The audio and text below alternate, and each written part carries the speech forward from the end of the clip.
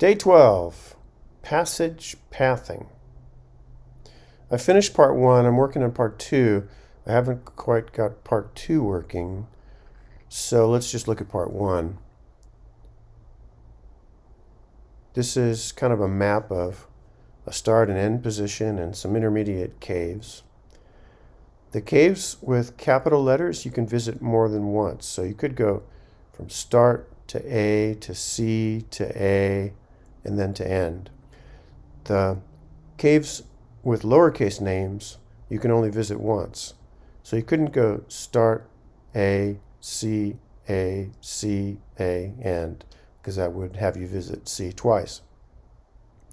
So we're, we are to find the number of distinct paths that start at start, go to end. Don't visit small caves more than once. And there are 10 paths through this test data.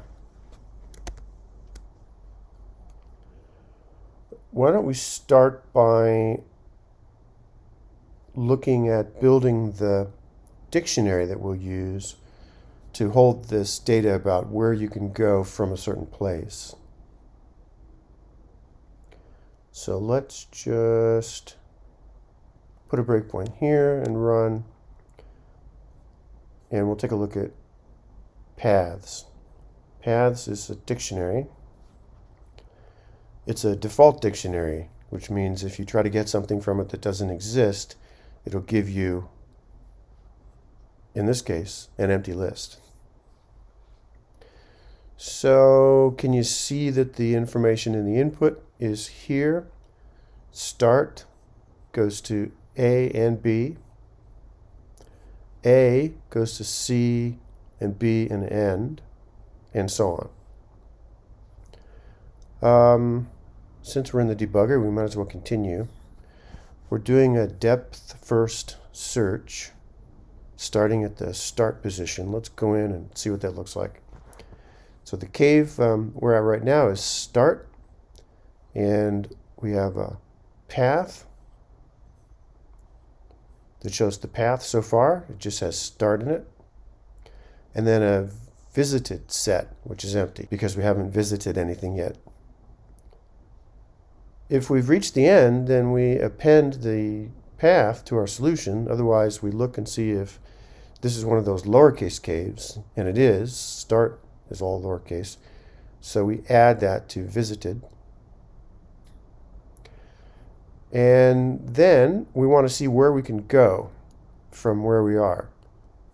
And if you look in paths and you look at start, you see we can get to A and B, capital A and little b.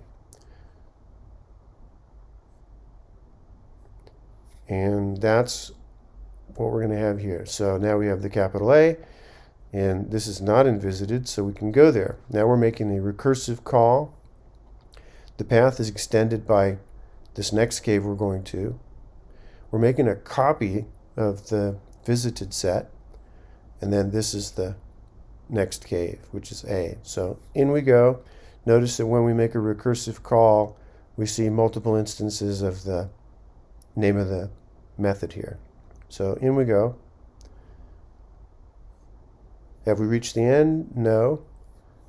Um, the cave now is capital A. That's not lower, so we don't mark that we visited it because we can visit the capital letter caves any number of times. And now we want to see where we can go from A.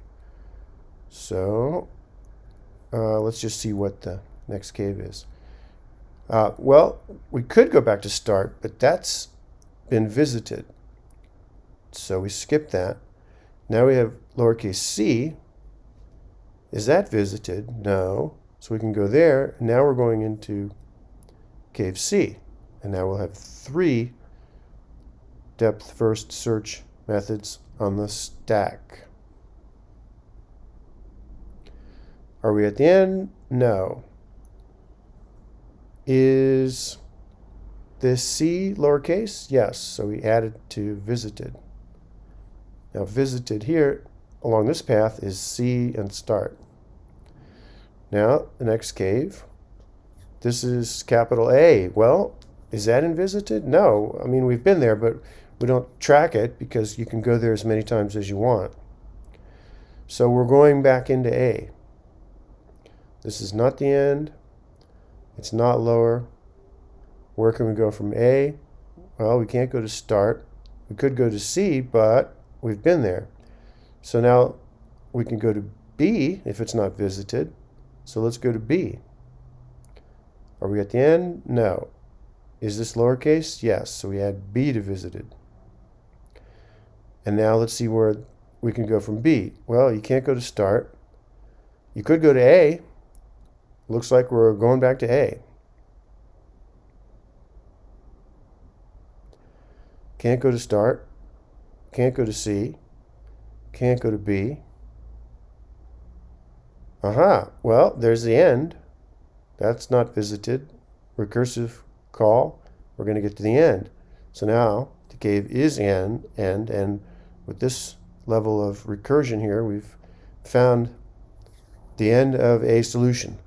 So we um, save that solution, and then we go on looking for more solutions. And when we finish,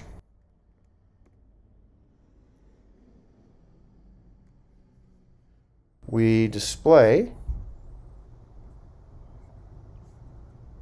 the number of paths and the paths themselves.